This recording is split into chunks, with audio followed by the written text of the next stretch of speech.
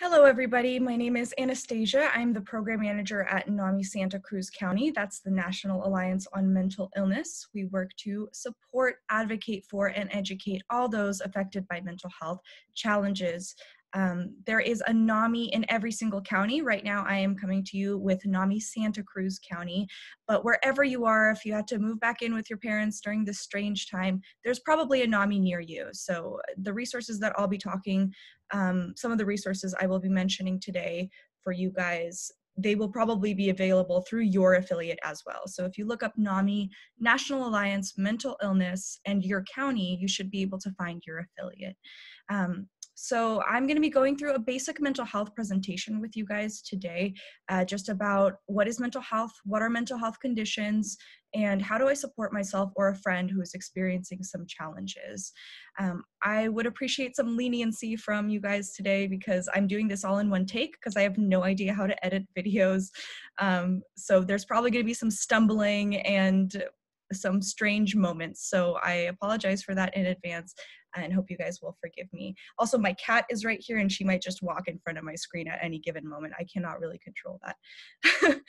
um, a little bit about myself. I am not a mental health provider, so I am just, I'm not a psychiatrist or a therapist. I'm just somebody with her own lived experience. So I have, I live with bipolar disorder and I've had diagnoses of anxiety and major depressive disorder throughout the years. And I'll be sharing some of those experiences with you guys as well. Um, so I think that's all my intro spiel. Um, we are also going to have some two very special guests come on at the end of this, sharing their own stories about what it's like to live with mental health challenges. Um, and I hope you guys will find that helpful. I know a lot of us are really struggling with our mental health right now, especially if we've had uh, pre-existing conditions before, and even a lot of a, a lot of you without those are struggling with your mental health. So I'm going to be talking a little bit about how we can support ourselves and our loved ones. So let's get started. I hope this screen share works. Okay, perfect. All right. So what is mental health? Mental health is something that every single one of us has, just like we have physical health. Some of us have to work a little bit harder to support our mental health, um, just like some of us have to work a little bit harder to support our physical health. Um, but mental health is essentially a state of balance in your mind, which is the way you're thinking, the way you're feeling, and the way that you're acting.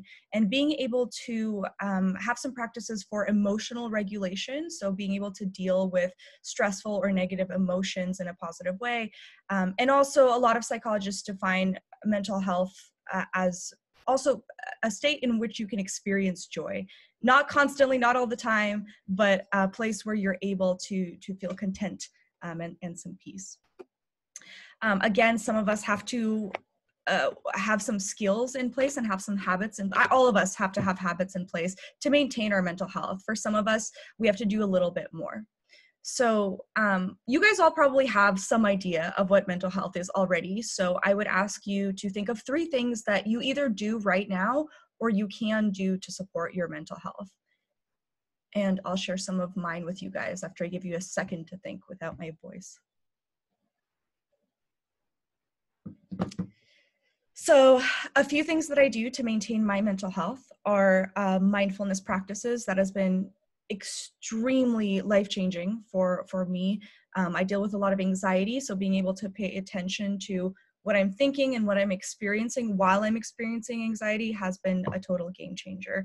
Um, also calling my loved ones and being in touch with my loved ones regularly. I know that when i'm not doing well i'm not connecting with my loved ones. I'm not um, sharing whatever's going on if it's a negative experience. Um, and then the third thing that I do to support my mental health is get a lot of sleep. Um, that is something that's vitally important um, and really helps me to maintain a level of balance. And there's also things that we do to maintain our physical health, like eating well, exercising, sleeping, um, that are also very tied into our mental health as well. So there's a big overlap, and we don't really get taught that enough, I think.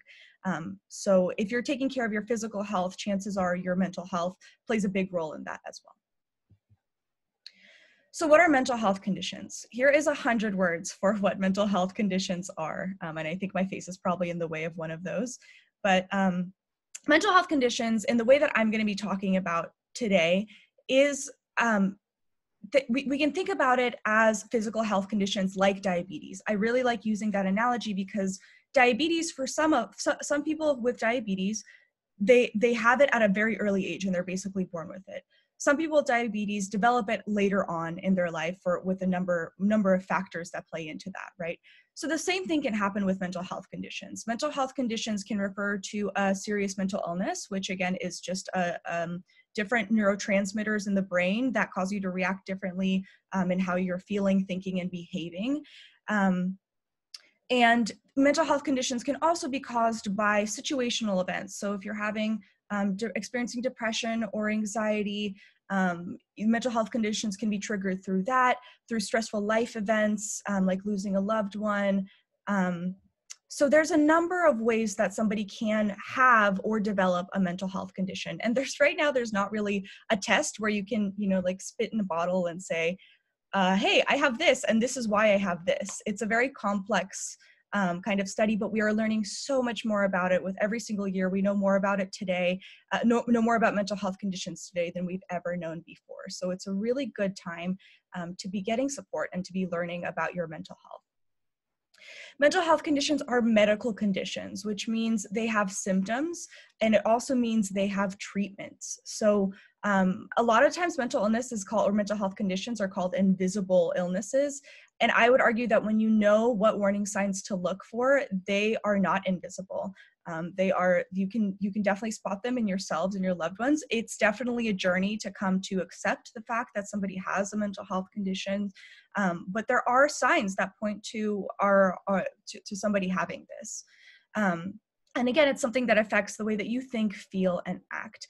And yes, they are very common. Um, the most common statistic that I see is one in four people live with a mental health condition. So if you're experiencing something and you're going, you're like feeling weird and you, you feel like something is wrong with you or you're broken, that's not the case. It is so common, and there's absolutely resources out there for you to get support and to feel better.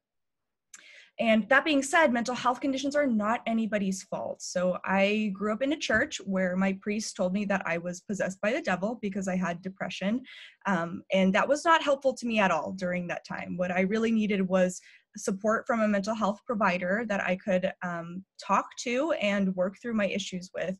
Um, and so so so all that being said it's not it's not something that um, to blame anybody for and it's something that again you can get help for you can get treatment for it's not something to be ashamed of though shame is unfortunately part of the process of having a mental health condition because of so much stigma out there um, the the way that that our society sees mental health conditions um, is very blamey and very judgy um, and so that really plays a huge role in people seeking treatment. There's like, I think for most people with mental health conditions, it takes them up to seven years before, like having symptoms, it takes them seven years before they seek treatment um, because of stigma.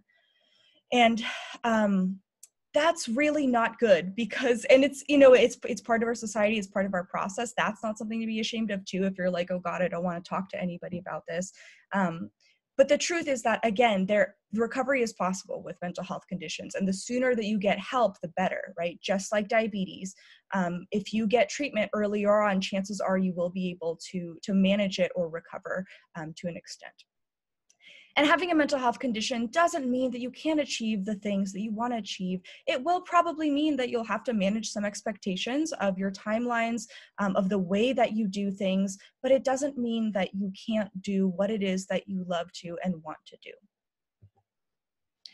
So here are some warning signs of mental health conditions. Um, and these are just a few. I really want to specify that to not, when you're when you're looking at these do not diagnose yourself. So any one of these can actually correspond with any mental health condition. So for the longest time i was just googling my symptoms and that's all i was doing for my mental health. Nothing else. I was just like uh, i'm feeling suicidal or i'm feeling um, you know like nothing matters. And um, i was finding you know all of these symptoms about depression turns out I did not have depression. I had bipolar disorder, um, but I was really focused on my on my depression, and that's kind of the main thing that I was seeing. So um, I just really I want to encourage you guys to to educate yourselves and look up like you know what are the different mental health conditions and symptoms, but do not diagnose yourself when you get on there. We cannot have an objective perspective of ourselves um, without the help of a, a, a, the help of a mental health professional can really bring to light what is actually going on. I'm not going to go through all these with you guys. This is just for you to have language for if something weird is going on with you or a friend. Um, th- these are some things that you might be seeing. So to be able to like have something to go to your doctor with, um, to go to your friend with, uh, these are these are some of the warning signs. There's another slide after this um, with some more. But a couple of mine that I really wish I started having mental health challenges at a really early age. I, I remember having them regularly by the time that I was 12. Um, sorry, uh, mental health mental health conditions warning signs. I started having those at the age of 12, and and probably before then. It's just that's the first time I remember it.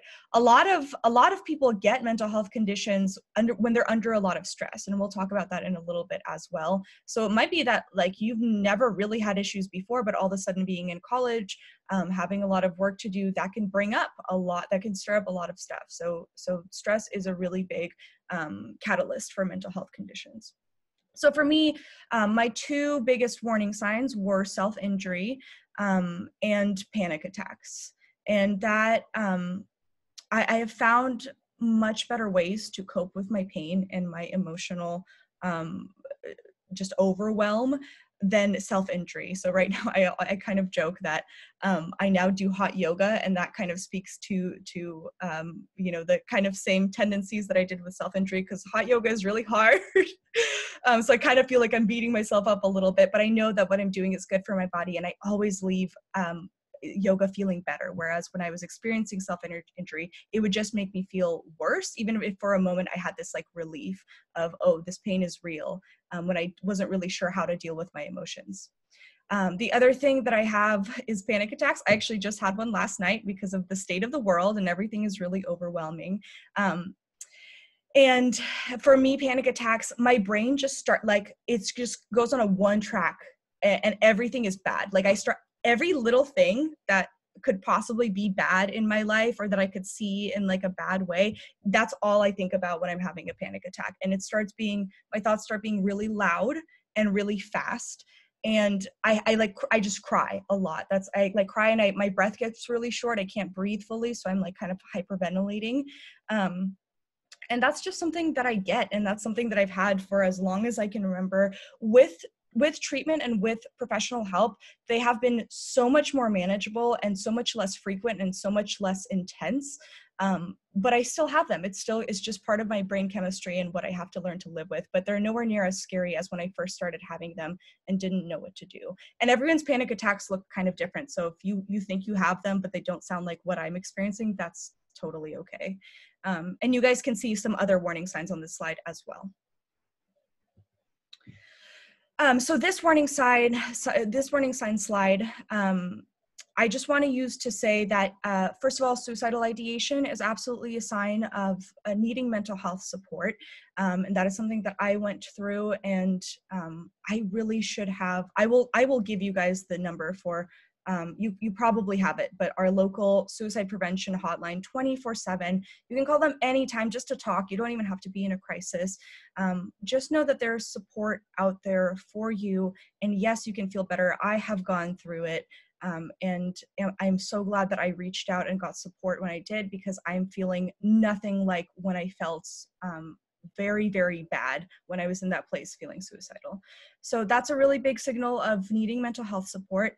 Um, also, you will see substance use and um, uh, behaviors of, of eating disorders on this slide as well. And that's just to note that those two things are also mental health conditions in and of themselves. So um, if you, you yourself or you know somebody who is using substances a lot, um, that is a mental health disorder. Substance use disorder is actually a, thing. And there's, again, lots of great treatments, lots of great support for that.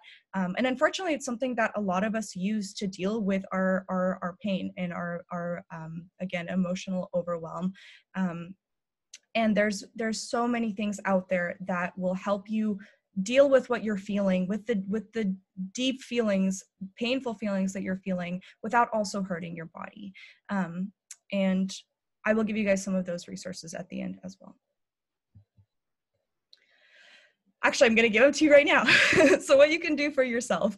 Um, there are so many resources. Again so it can feel so hopeless when you're in the middle of it. It can feel like there's nobody out there that could possibly understand.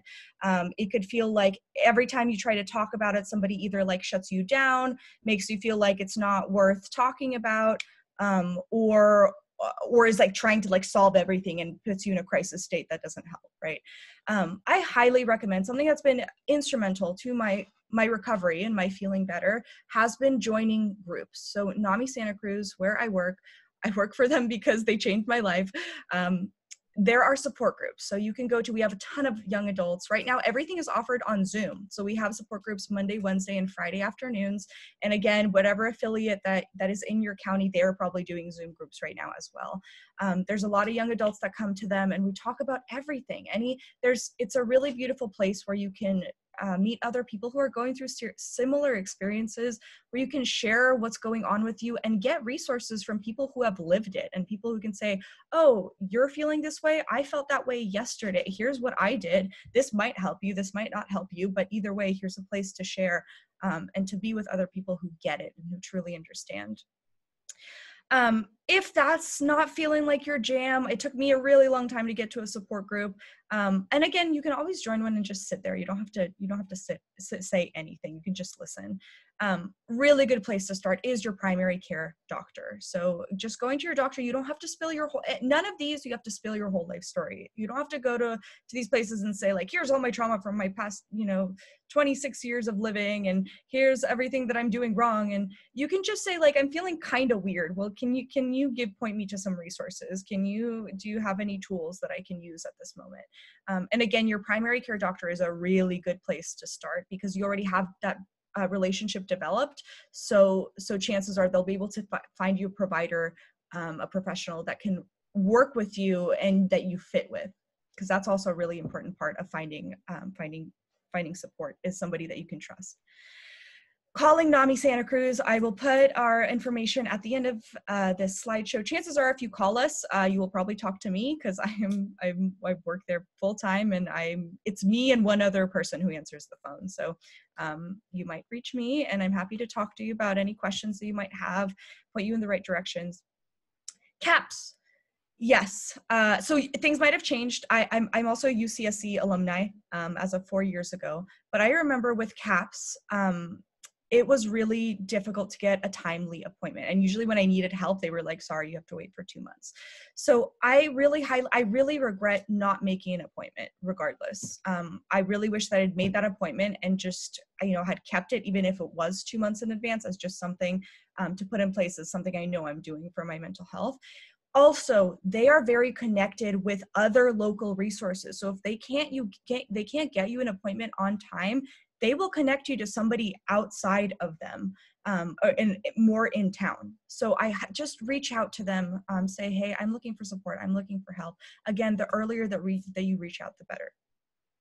Doing research is very, very, it can be very helpful and feel very validating.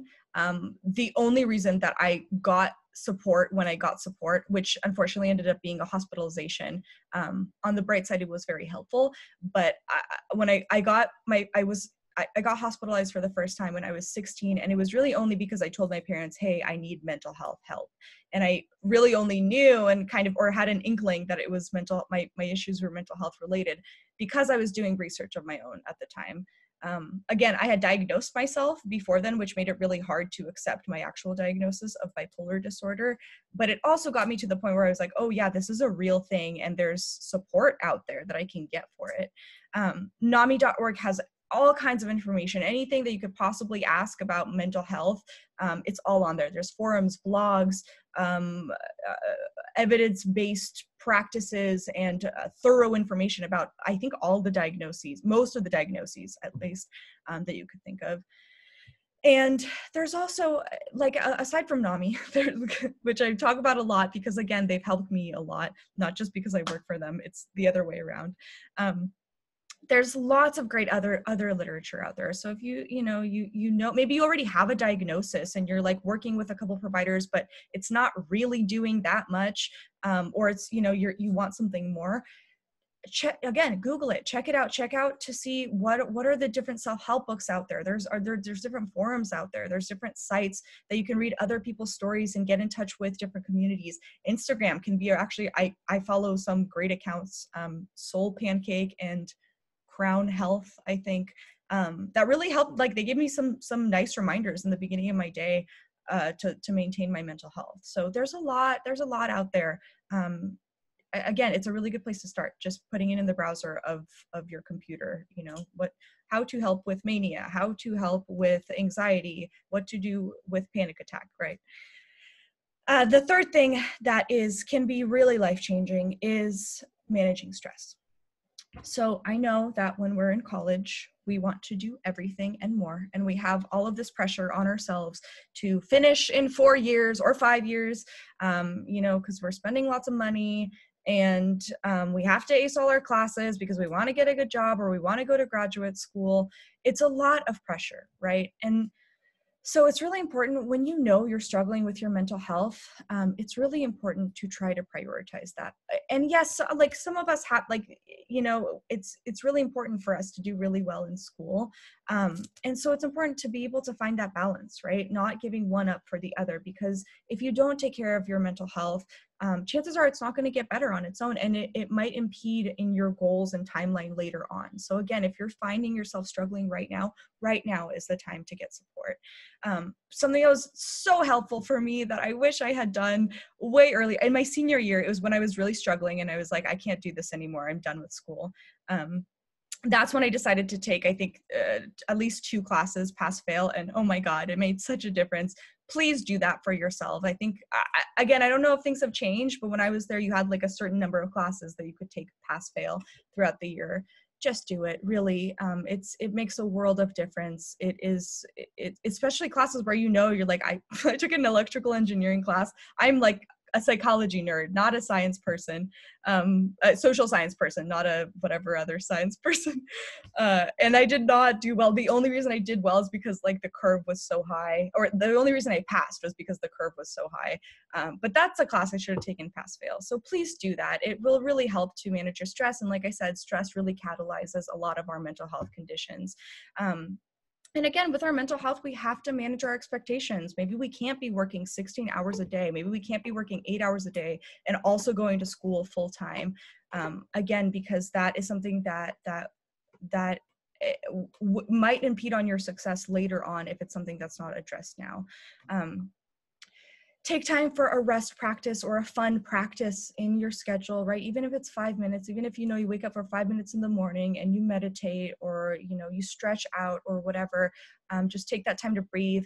I, w- I recommend if you have no time if you're like no i don't have anything like taking those five minute breaks in the morning afternoon and evening that can be really good too um, for your mind to just know like oh i have this break coming soon and it can help you get more in touch with what what your needs are. Um, and also really important to set boundaries. So again, along with your academic pressure right now, you probably actually have some family pressure right now, being a lot of you being at home with your parents or families. Um, and then on top of that, social pressure, right? And uh, like our own personal stuff as well. Um, so learn to say no. You don't want to go to a party, don't go to that party. It's okay. Like your friends will still be around, even if you don't want to go to a party or if you don't even want to go out with them. Um, it was really important for me to be able to speak up and say, hey, I'm having a bad mental health day. Can I just text you for this one minute and then I'll then I'll get back to you in like a week, right? And and being being able to like, oh, I made plans and I'm like, I, I need to sleep today. Um, reaching out to my friends and just saying, hey, I really need the sleep today. Can we reschedule? Can we postpone? Uh, it's really good and it can help you also feel like you have a sense of agency over what's going on which again can kind of help settle your your brain a little bit um, so those are some quick tips. Again, there's a lot of other information out there and your mental health providers will also give you a lot of tools and tricks as to how, how to really um, uh, have good mental health and have better mental health, maintain it. Uh, how to help a friend. So I would say the most important thing that you can do as a friend is this last point, to support them no matter what. Um, I really, I got really tired of having to explain myself uh, or like get advice that I wasn't looking for from friends.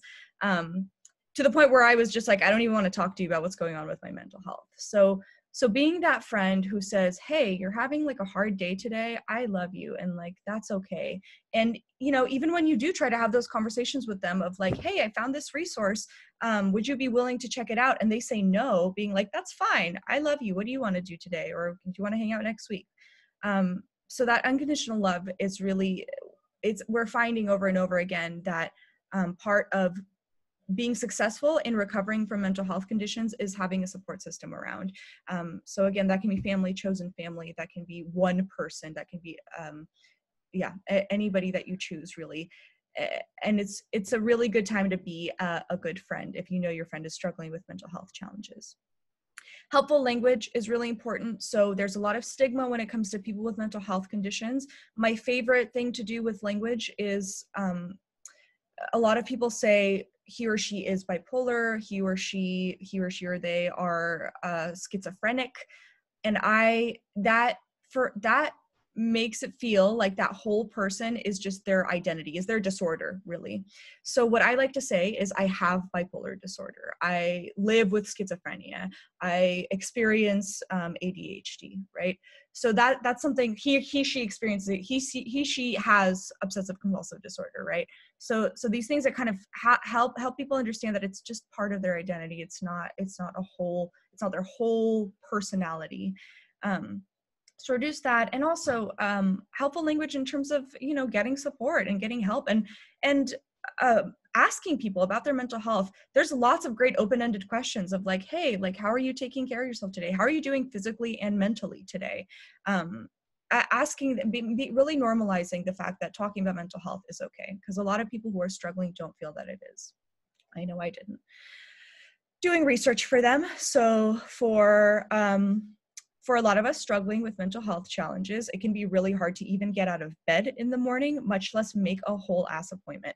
So, being a friend who uh, you can kind of look it up on the side, you know, like without if you feel like your friend isn't ready to talk to you yet, just kind of having those things available for when they are can be really helpful.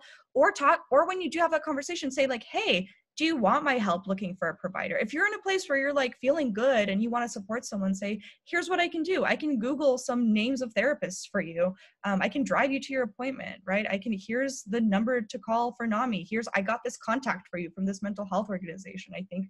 Um, you could reach them monday through friday 11 to 3 or whatever right so that can really eliminate a bunch of barriers for it because getting mental health resources it can be it can really feel like jumping through hoops. Um, so if you're in that place where you have that bandwidth that can be a great thing to do planning things they love to do, right? It might not line up with your idea of what you love to do. You might want to party and go out and socialize and be in loud places, and they might really want to just chill at home and like not really talk to you for very that's me. I'm actually speaking from my experience. I would like my ideal place is like I'm watching movies for six hours with my friends and we're not saying anything to each other. That's like what I what I really like to do and what helps helps me feel really um, stable and and and good and happy so so planning things that they love to do and you know not not getting upset if they if they cancel plans or what have you um, it's a real thing. Again men- mental health conditions are real and it's important to understand there's limitations to that and here's this wonderful collage of celebrities who have mental health conditions and not just have them, they are also advocates of having mental health conditions. Um, Demi Lovato lives with bipolar disorder and struggles with substance use, as many of you know. I love her. Um, JFK, oh my gosh, I don't want to misdiagnose him, but I think he lives with, uh, he lived with ADHD. Um, really interesting. Some one of the more kind of uh, one of the one of the less common mental mental illnesses he has that he had that. Um, and leonardo dicaprio also lives with lives with obsessive compulsive disorder which is really fascinating to me when i learned that. And also serena williams lives with depression. You can i i have like a list of these people um, but i don't have it on me right now. So if you recognize anyone look up um, you know this person and mental health condition and you'll be able to find what it is that they live with. So this is all to say that having a mental health condition having mental health challenges does not have to limit you. You can still live a beautiful successful life um, having a mental health condition So please remember, mental health conditions are medical conditions. They have symptoms, they're treatable, there's resources, there's providers for you. It's not your fault. It's not anybody's fault. It's just the way that your brain is. Um, maybe it's just the way your brain is at this moment. And you are not alone. One in four people struggle with a mental health condition, probably more. And recovery is absolutely possible. There is hope. Um, our lives are uh, just changed. So, I, speaking from my own experience, I could not have imagined being as stable and as happy as I am today, um, even five years ago when I literally could not leave my room because I was feeling so much anxiety and isolation and depression. So um, just know hope is out there. There's resources for you. And so here's here's us, NAMI Santa Cruz, really good place to start. Here's our website, namiscc.org. Um, you'll find our all of our support groups on there. That's a really good place to start. Monday, Wednesday, Friday afternoon support uh, Zoom groups. Please join us. LGBTQ friendly. Um, this is our office line. We're not at the office right now, but we are getting voicemails remotely. So call us, leave a message, and we'll probably get back to you within the day. This is my name, this is my title, and you can also email me, anastasia at namiscc.org. I would love to hear from you guys, um, any questions that you might have. Um, yeah. So without further ado, oh, I also meant to give you guys the suicide prevention line. Um, give me one second.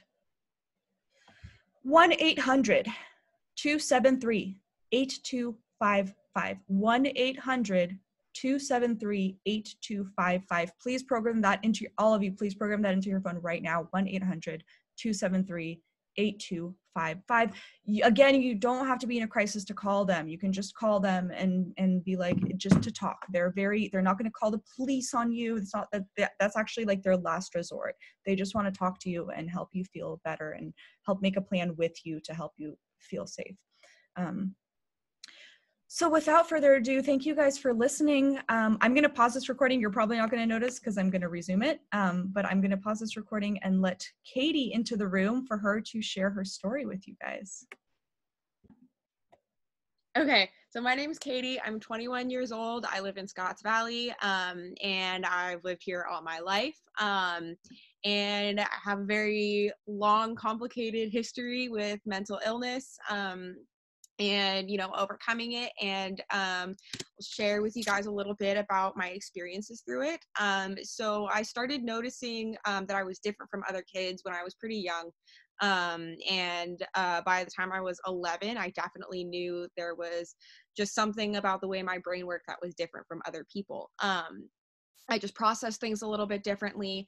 Uh, and all of a sudden, like overnight, it felt like a switch just kind of went off. Um, I remember sitting in math class one day. Um, and I was writing down uh, just you know simple uh, algebra equations, and I remember trying to write an eight.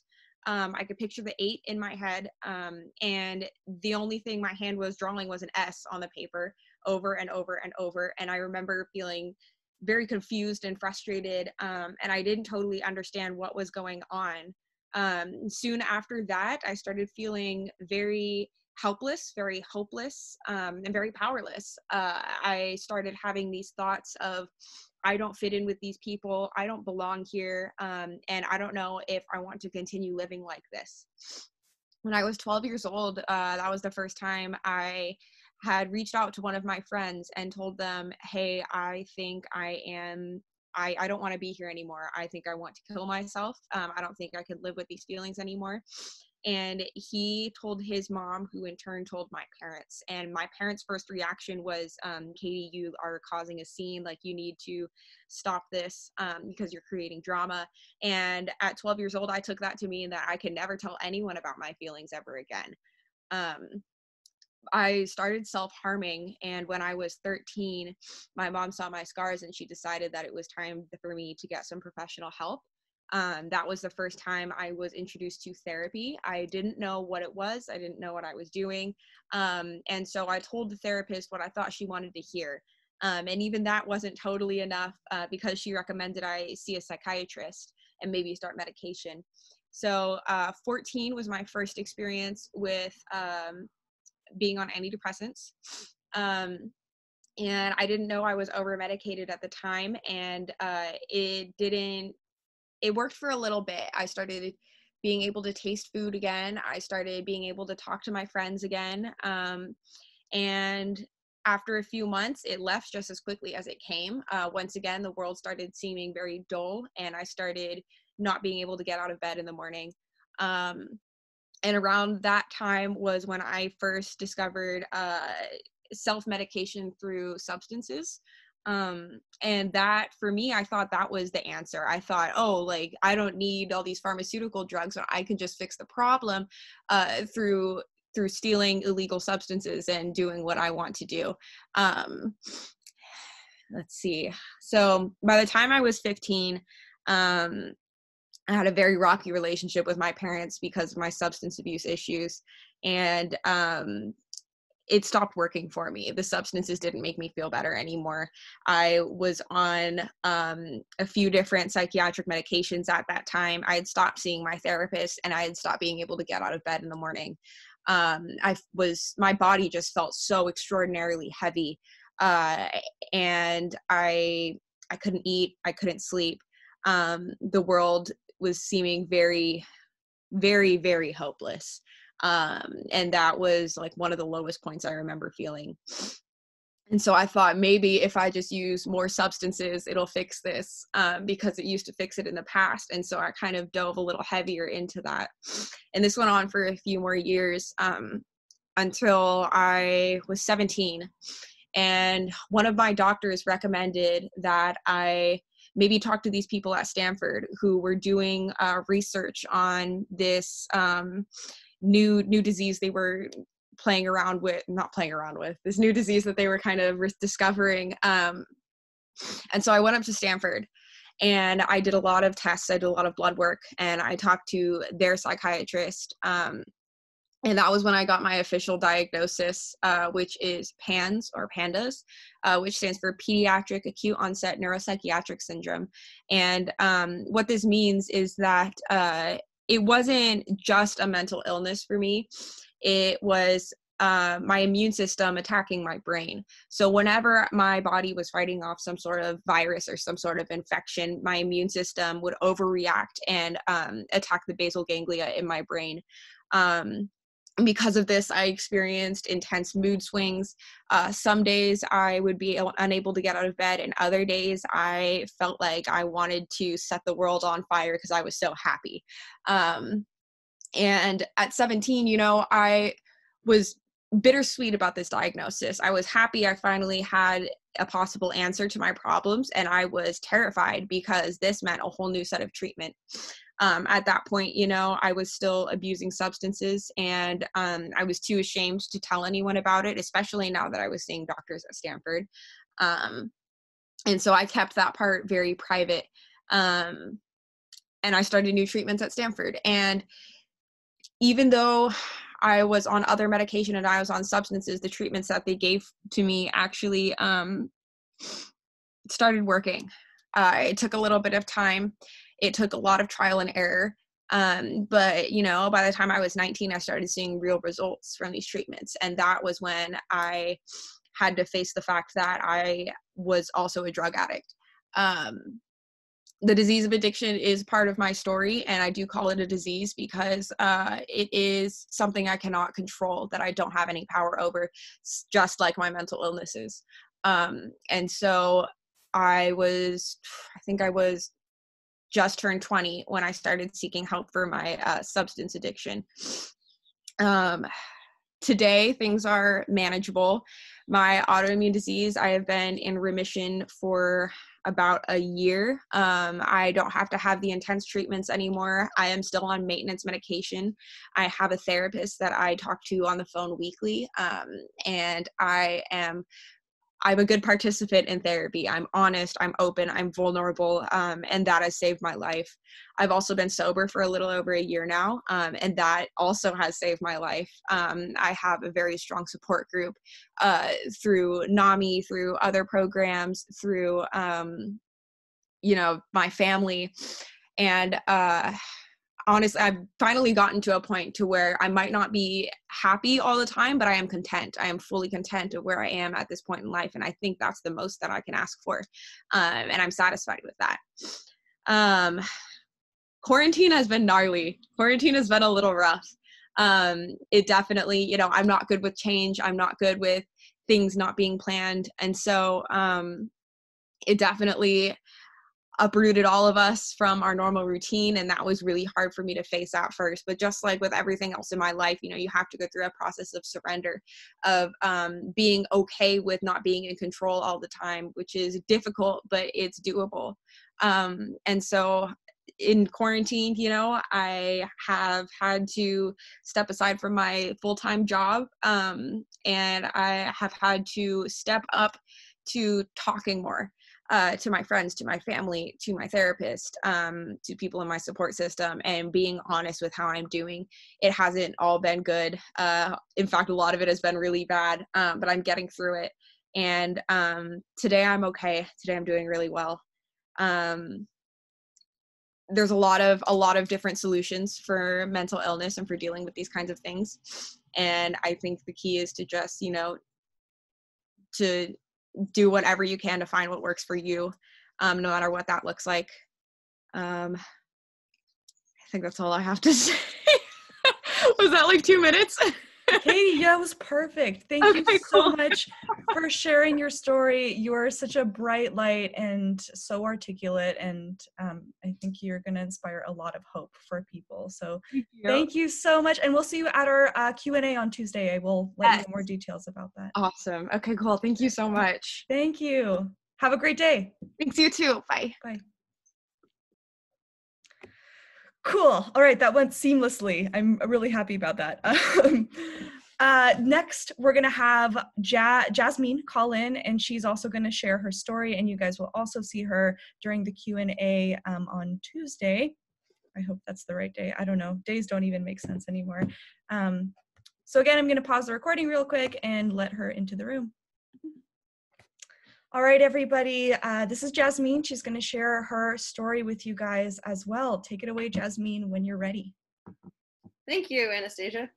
Um, yes, I'm Jasmine. I go by Jazz. Um, and I am here to tell you about my story with mental health. Um, I also, you know, just wanted to start with an introduction, though, of who I am. Um, I'm married. Um, I have two cats, Fluff and Floof, who are quite adorable. Um, I enjoy volunteering, and that's why I like working with NAMI. Um, before COVID 19, um, I really enjoyed going out for food or movies with friends and family. And both before and now, I um, have really gotten into the Big Bang Theory, a little late to the game, um, and watch that kind of on loop. I also like to play um, The Legend of Zelda Breath of the Wild. Uh, it's the only game I've enjoyed so far. Um, one interesting fact about me is that I was adopted when I was six months old from one of Mother Teresa's orphanages in Dhaka, Bangladesh. I was brought to California and LA, and then I've been working my way north ever since. Um, went to San Luis Obispo for um, high school, and then after that came up here for um, for college up to the Bay Area, and I've been in Santa Cruz for about six years now. So my journey started more or less in high school. Um, I noticed I was feeling really left out, kind of angry a lot. Um, would have these sort of outbursts at my friends, feeling like you know just nobody cared about me. There's one example where I was at the beach with um, a group of friends, and with a really good friend, I just ended up shouting at him, "I hate you," and then taking off down a strip of highway.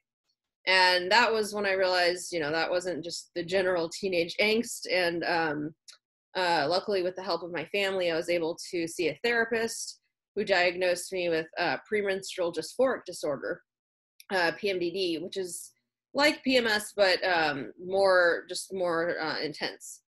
And I managed that with the therapy and medication. Um, then I went off to college. I went to Stanford, and things were going pretty well in the beginning. But my um, winter quarter, we went on a ski trip and I experienced rejection by a boy I really liked. And I did not take it well. Um, I ended up texting my mom, I want to die, which is the first time I had said something like that. So, needless to say, she was really scared. Um, and I found myself when I got back to campus just kind of having passive suicidal ideation. So then I got really scared and went to the counseling center. they ended up initiating um, a 5150, which is a 72 hour psychiatric hold.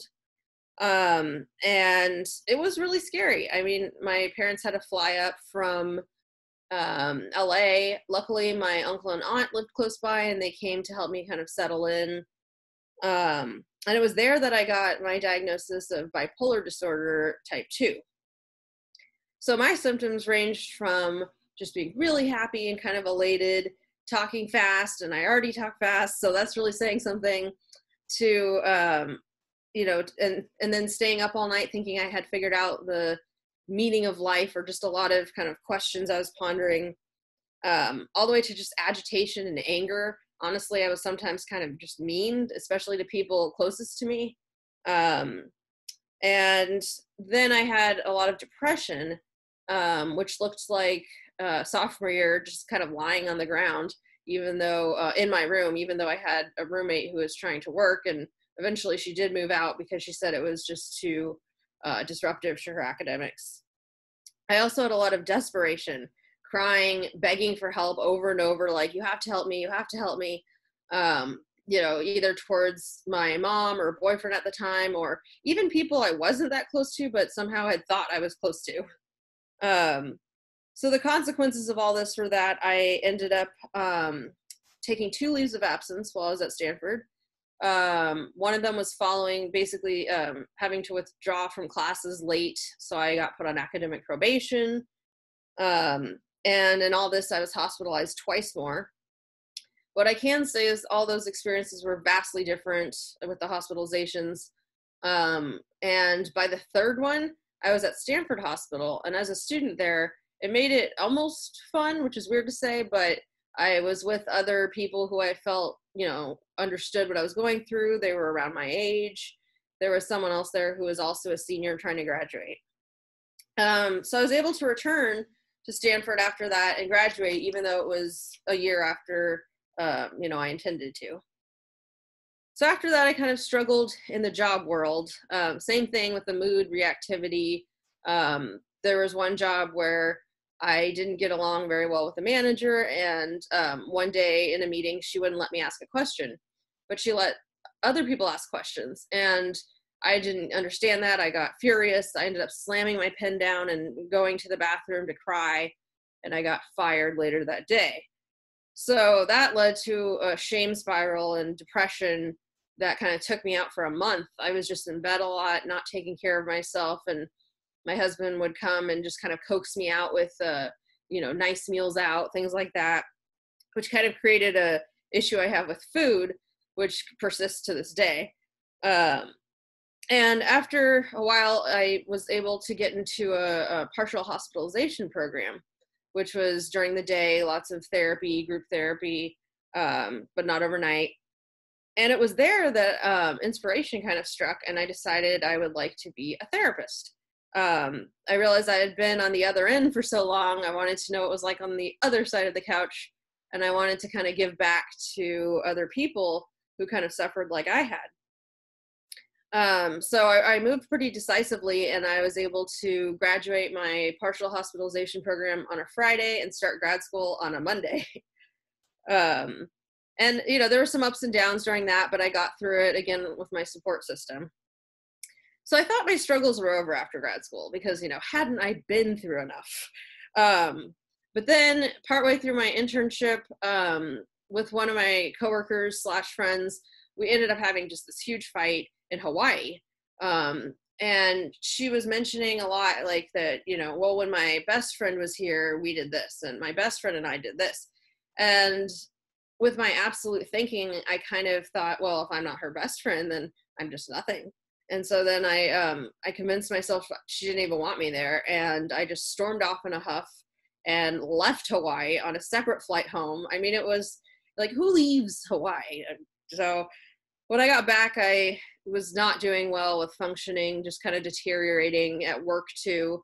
So I ended up taking a leave of absence um, from work for about five weeks at that time i had a therapist who also told me she couldn't work with me anymore because her skill set didn't match what i needed uh, which was devastating at first um, but led me to kind of realize that um, just realize on my own that I actually meet criteria for borderline personality disorder, um, which she she agreed, and so did my psychiatrist. And that helped me feel a lot of relief at first um, because it, it, made sense of the symptoms I had. But then I felt a lot of fear and internalized stigma because you know just, I've encountered more stigma for that diagnosis. And the current thought by my psychiatrist is that I'm somewhere at the intersection of the two bipolar disorder and borderline personality disorder. So, what helps for me, the primary thing, as I've kind of um, talked about, is just being open and honest with my support system. So, my mom, my boyfriend through college, and then my husband now. Um, also, therapy and psychiatry have been huge for me. I've done dialectical behavior therapy, cognitive behavioral therapy, and acceptance and commitment therapy. Um, I found DBT, the dialectical behavior therapy, really helpful because um, the four modules for me were just really big. There's mindfulness, interpersonal effectiveness, emotion regulation, and distress tolerance, uh, which I benefited from all of them.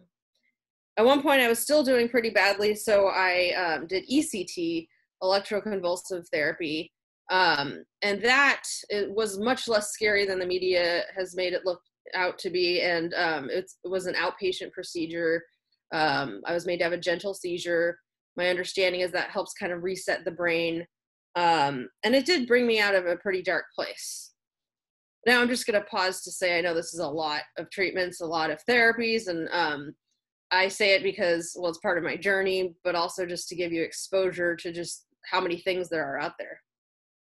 So after the ECT, I tried TMS, and that's kind of where I wore this helmet that um, sends a magnetic pulse like deep into the brain again to kind of help reset it. Um, I've done trauma techniques like EMDR, eye movement desensitization and reprocessing, and uh, brain spotting, and found uh, EMDR helpful for me. And then medication trial and error. It took a lot. Um, I had to try dozens of medications and I say that not to discourage anyone, but just because I wish I had known that there was light at the end of the tunnel and that for some people, you know, it, like for me, it just took more uh, try, trial and error. And NAMI classes really helped. Um, my mom took the family to family class and it helped her understand how to support me and um, help me while still maintaining her own boundaries. And then the NAMI peer to peer class is something I took later and it helped me break down stigma I had towards even other mental illnesses. And um, recently, what helped me the most was just that idea that I meet the criteria for borderline personality disorder because it helped lead me to um, treatment that uh, one of the gold standards and something I had found helpful was the DBT. And so I'm committed to the full program, going through the group the second time. Um, and uh, it's really helping. I see recovery as an ongoing process. Um, I don't have to be recovered to have a fulfilling life. Because despite everything I've told you and that I went through, I was able to adopt my cats, get married. Um, now I'm in this treatment I really like. I'm an associate marriage and family therapist at Family Service Agency. Um, passed my law and ethics exam, and I'm over halfway through my hours to my license. Um, so what's next for me is I think, you know, I want to get my license and continue at the agency, but also maybe add a private practice. Um, I view uh, progress as not directly linear, um, but I do think that, you know, if the intensity, duration, or frequency of my episodes decreases, that that is success and that is progress. So now I can focus on my um, struggles with food and honestly it's it's very annoying that i came out of this with yet another problem. Um, but as my mom said you know it might have been what helped me survive. It might have been just the coping mechanism that i that i needed at the time. And now i have the bandwidth to kind of tackle it. So i view the pmdd bipolar slash borderline personality disorder as things i live with much as um, you know my mom lives with um, arthritis or my uncle lives with diabetes things like that and you know i validate that it's not fair um, but that everyone has something to deal with and if you don't like you don't have any physical or mental ailments you know you're just super lucky like my husband then um, then I'd say maybe you have more more bandwidth to help people who are struggling and help loved ones. Uh, I wanted to just touch on how the pandemic has been affecting my mental health, and um, I think all this underlying stress has led to heightened anxiety for me. Um, I'm more easily set off. It's harder to return to baseline, so things throughout the day can keep kind of, you know, ratcheting it up. I also have been experiencing a lot of fear, um, fear and almost terror, just from everything from like bugs outside when I'm inside, you know, which I didn't used to be that afraid, to um, like fear of calling clients when I have business to conduct, things like that. Um, in fact, recently I just had an episode and had to reschedule a couple clients and um, and felt a lot of shame and had to work on that self stigma that even I can't take a mental health day because I'm a therapist or I should know better or I should be better by now. Um, so in general, it's just helpful to remember that this ambient stress is chipping away at my resiliency. So I do things to try to help bolster that, which is um, like taking naps or playing my game um, or just taking breaks. So, looking to the future, I'm currently intrigued with either becoming a DBT therapist or um, contributing some way to borderline personality disorder research. Um, I just feel my suffering wasn't for nothing if I can help other people suffer at just at least a little bit less or not feel alone in the journey. Um, at a minimum, I really believe in chipping away at stigma, which is why I share my story and why I am here talking to you. Jazz, thank you so much for sharing your incredible story of resilience and all your wisdom. I love hearing your story every single time. And we'll see you at our uh, Q&A on Tuesday at noon. Yeah. Cool. Have a great rest of your day. Thanks. You too. Uh, Thanks for having me. Thank you.